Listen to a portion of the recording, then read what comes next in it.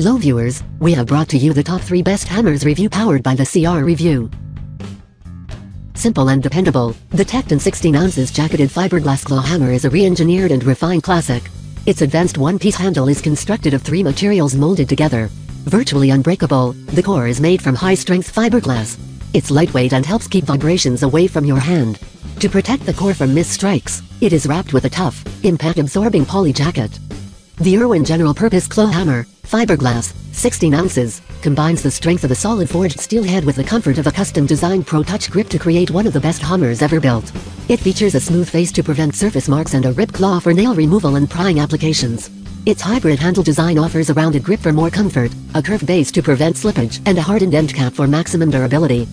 The M1 titanium handle milled steel head curve grip framing hammer, with its revolutionary design, is the first of its kind to feature a replaceable grip curved or straight and a replaceable steel head milled or smooth. That's right, the M1 framing hammer is the last hammer you will ever need. The sleek and attractive design touts the removable all-steel head that refrains from loosening even after the toughest abuse.